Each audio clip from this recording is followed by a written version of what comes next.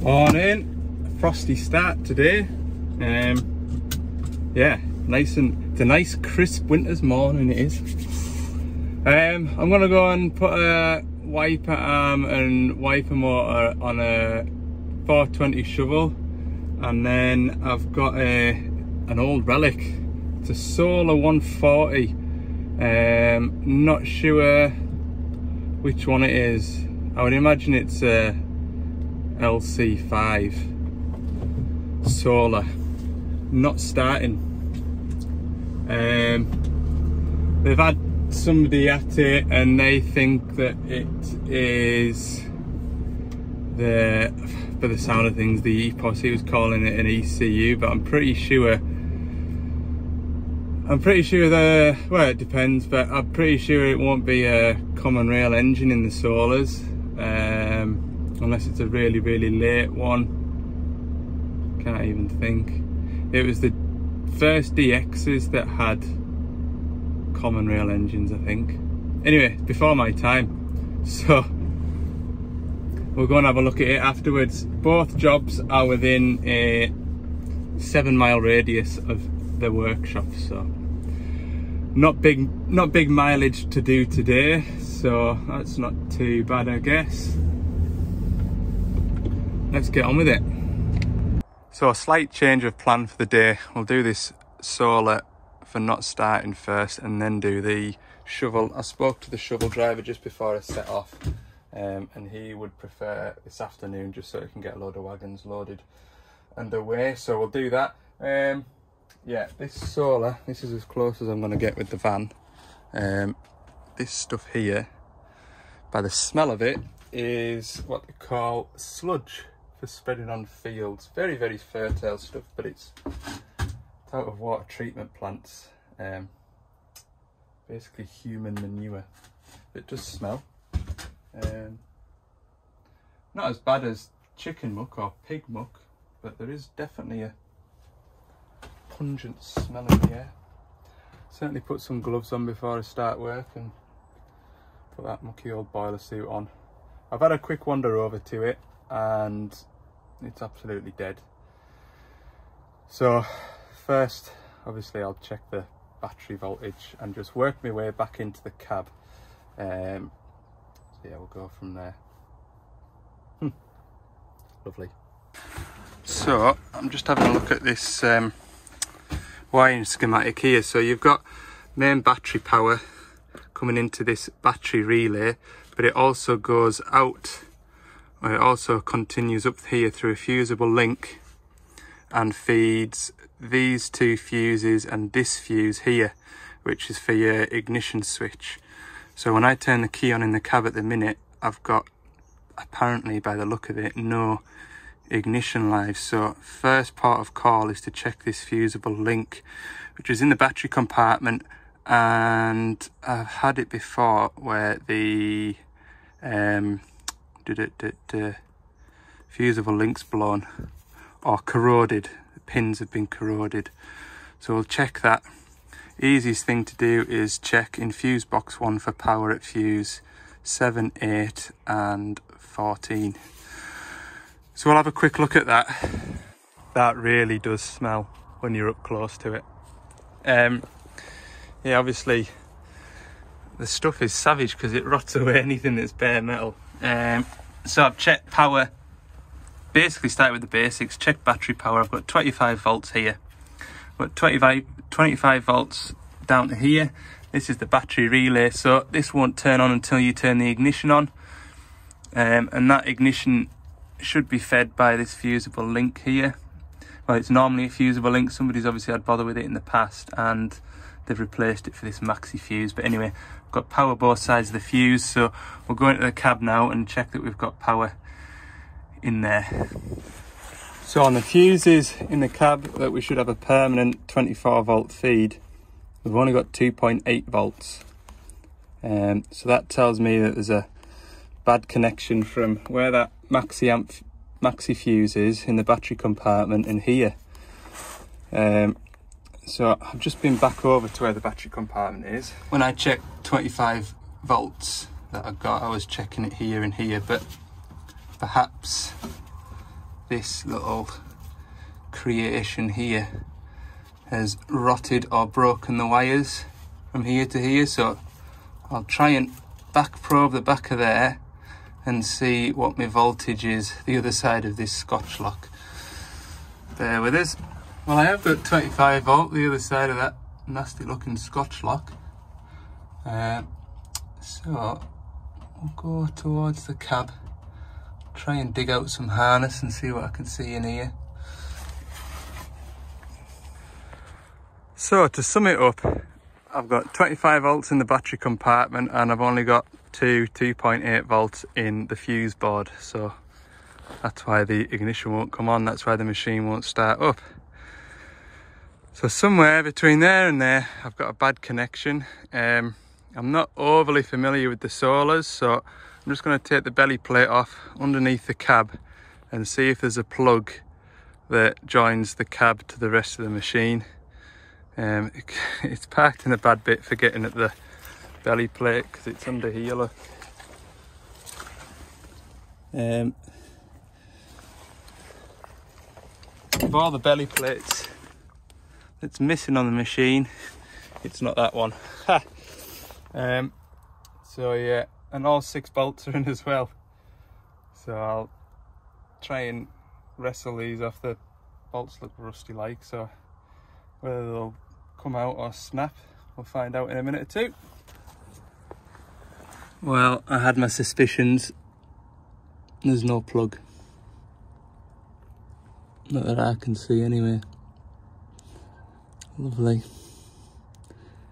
So that wiring harness comes out the cab, heads that way. Through this slot. Goodness me. Down between that chassis rail there and out to here and then between the chassis rail again and into there or maybe try and find the white wire with the red tracer in here. See what voltage I've got. Just pin it straight into the wire. With a bit of luck I've only got two and a half volts here and I know the fault's between there and that way. I would hate it if the fault was that way because, well, no. If the fault is that way, all I'm going to do is cut the wire and uh, run it into the cab because realistically, to get in down there anything, we're looking at cabs off. I'm pretty sure a machine of this age, for what it's going to be doing, pretty confident the fella will just want a wire running however which way possible. Brilliant. Oh dear, I've got 24 volts there. So my problem is definitely from that point into the cab somewhere. That's disappointing. Hmm.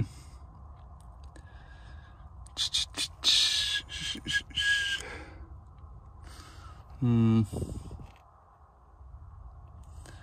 Could do with... Uh, Hmm. Could do with try to start it really, like running a wire in from the battery compartment and swinging this body round and then getting properly underneath it and see if we can open the harness up there. At least then I can run away from there to just under the cab, which will feed everything. I know what I need to do, I just need to do it. oh gosh. In among all this look. Um yeah. Let's have a think. In further investigation, what I was looking for was where those wires that feed these fuses permanently, where they splice together as one, because obviously there's only one live wire coming into the cab. Um, I've taken this plate off and we've got a bit of a nest in here so I'll just have a bit dig out in here and see what all we can find. I'm wanting some heavy white and red wires to make themselves known please. I think it must be about an hour and a half, two hours since I last spoke to you and um, not really much further forward. It's turning into a bit of a carry on this like got wires pulled out all over the place. I was getting like with me power probe here what I wanted to do was just backfeed my permanent lives here and see if we get the machine just started and swizzle around a bit when I did, it had like a dead earth. See, I've got an earth.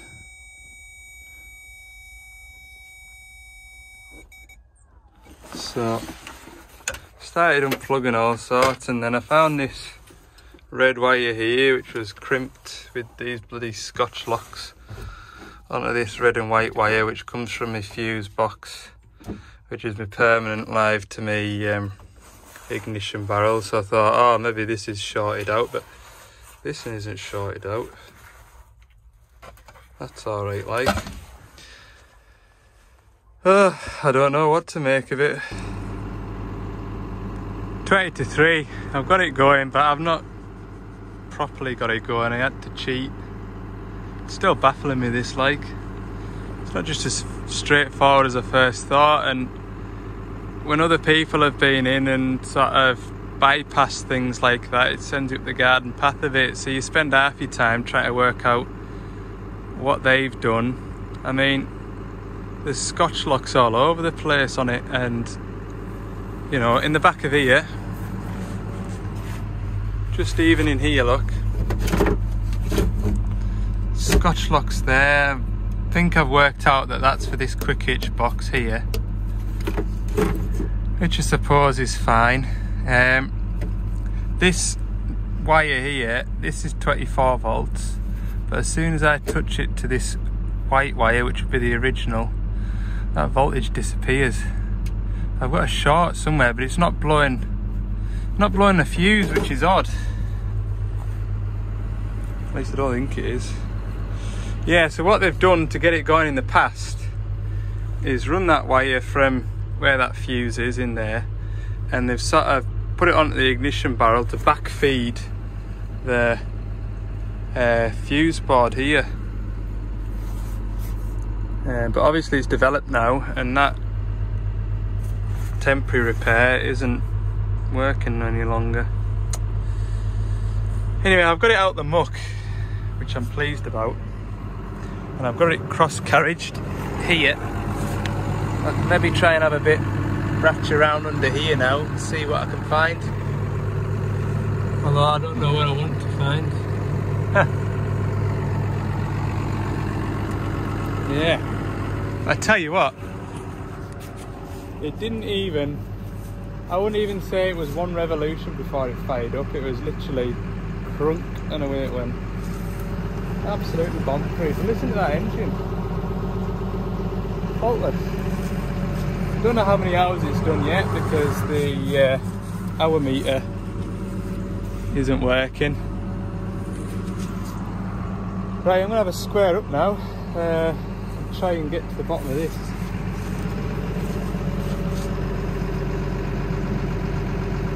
Head scratcher, this one.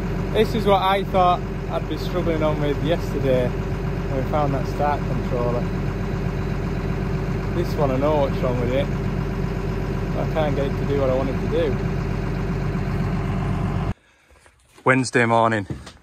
Um, I was at this machine till about just about five o'clock last night. Um, at half four, I phoned my pal Sean up in Aberdeen. So Sean's getting a shout out today. Um, and I was having a crack with him.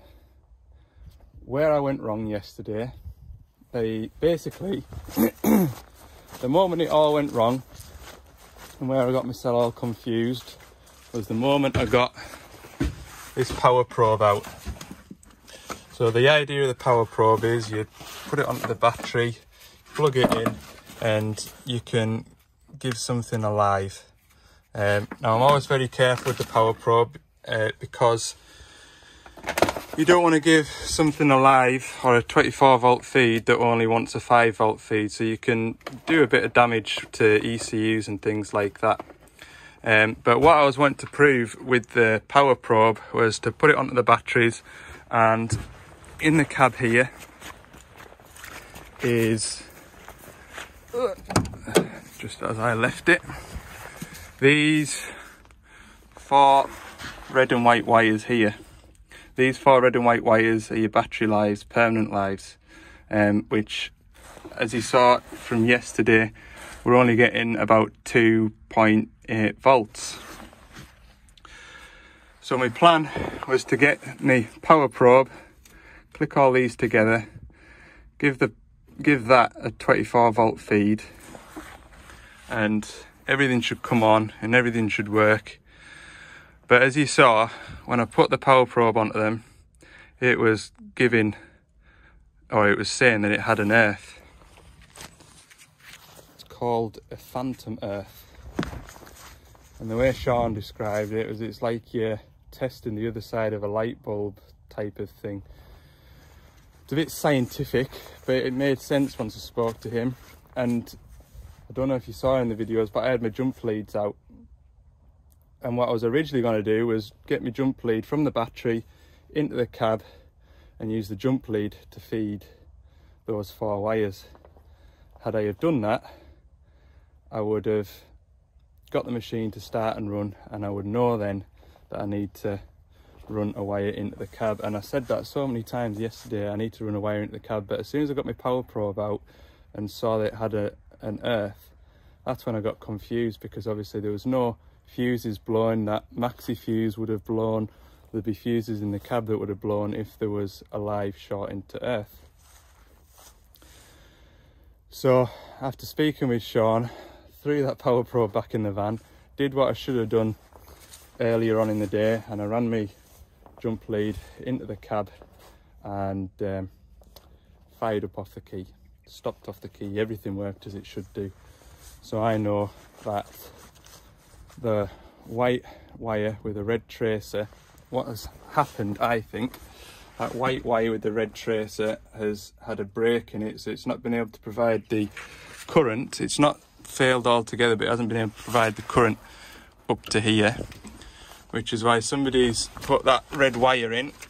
Oh. This one here, someone's put that one in and backfed the back of the ignition barrel to kind of boost that current, if that makes sense. And I think what's happened is the white and red wire has finally gone, which has left all the current to go through that tiny little wire. Um, which is what I believe is the fault. So what I'm going to do today, being to my electricians this morning, I've gathered up. That's a new battery cable because that was the state of the link wire. Got a new maxi amp fuse. I've got some nice heavy red wire which I'm going to run from the battery nice and neatly up into the cab and feed those four terminals at the fuse board. I'll then be able to put my white wire, white and red wire back onto the ignition barrel like I did last night but with instead of using this I had a jump cable and I'll be able to start the machine and that'll be a permanent fix. Simple. Yeah, that power probe is great for doing little bits, but um, essentially the power, yeah, it's a, essentially it complicated matters. There's a time and a place for that, and that is why it often stays in the van. It's alright for some jobs, but that really sort of uh, clouded the water up a bit yesterday and really led me up the garden path. Um, when I got home last night, I was having a look at some of the comments on um, YouTube from the Monday's video when I did that diagnostic for the start controller. Um, and there was a young lad, I can't remember your name, sorry, um, but he was an apprentice and he was saying, oh, I don't know if I'll ever be able to learn as much as that to be able to do that kind of diagnostic work. I've gone from that on Monday to spending a whole day on this in my head knowing what I need to do, but something like that has just really confused me. So it's all experience and it does help having someone who hasn't even seen the machine just who's completely separate just talking to them and telling them what you've got and them saying well you need to do this. And you're like yeah i do. Why didn't i do that? So yeah it, it's all you know you, you're always by what i'm saying is you're always learning and you know nothing just comes like that. It's all down to experience and i'll certainly know for next time um to keep that power probe in the fan. Goodness me. So yeah i've uh, i've got a lot to put back together on this machine and then i've got the rest of the work to carry out. Um, i was working on it yesterday that battery lead sort of fell apart so um, I'm going to put that battery lead on. And then I've got all this to tidy up in here. So I'm going to do away with that. That's going to go in the bin wherever that, that well that's that red wire going to the that was sort of spliced into the back of the ignition barrel. That's going to go in the bin. I'll pull all that out. Um, and that's just going to get tidied up and left. Um, and basically that white wire there is what I'm going to replace. Do away with all this junk. So yeah. Easy peasy yeah right mission accomplished. Um, got my wire running. I've tidied all the wiring up that I've had apart. It's all tidied up. Um, in here.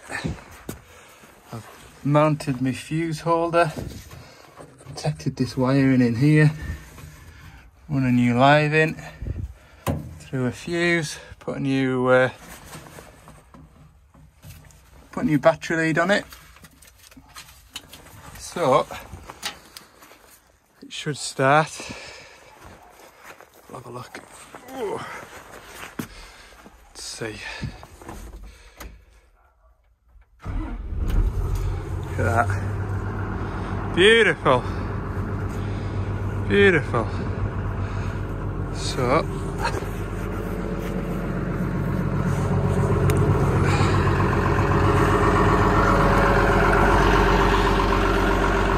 Pull this out. That's that horrible bit of wire from uh, that was feeding the back of the ignition switch. Do away with that. Right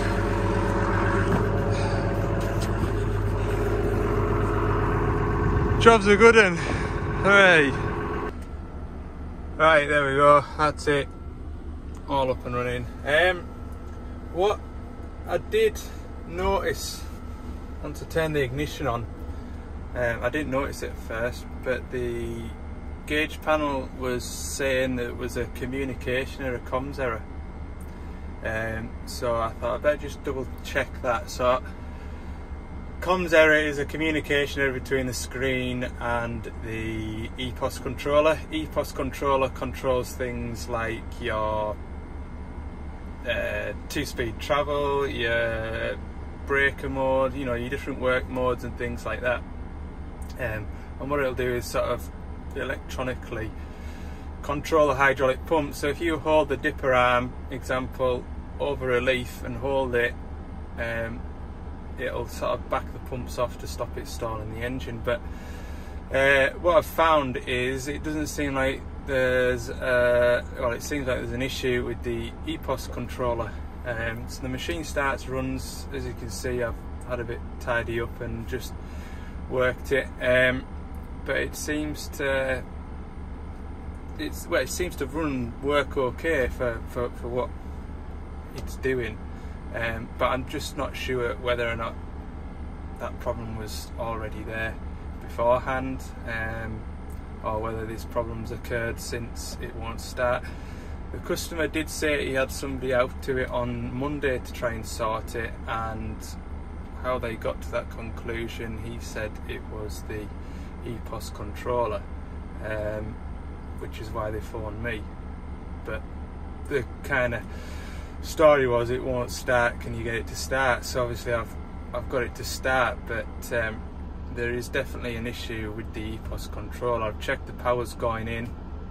Powers are all there, but it's just dead. Um, so I'm feeling it'll want an EPOS controller. How or why that's happened, I don't know. Um, like I say, it might have been like that for a long time. I just don't know. But um, yeah, it's running. It can do its job that it needs to do. Um, I've tried calling the customer, can't get through. So we'll leave it at that. I think I've spent in more than enough time on it. Um, so yeah, I'm gonna go back to the yard, have some lunch, and then sort out this afternoon's work. Right, last job of the day. 420-7 wiper arm. I'll show you what's the matter with it in a minute. The wiper arm's got loads of play in it, look. See how this isn't moving, but this is. It's all play inside here. Um, and what happens is it's coming off the windscreen. When I spoke to the driver, I thought that it was loose on the spindle like the other 420 that we did not too long ago. Um, and the spindle was knackered, but it's not, it's tight. It's playing that joint there, look. So, got a fresh one, we'll replace it. Right, that's the new one on, nothing too exciting. There's the old one, there's the old one. The old one's in the van.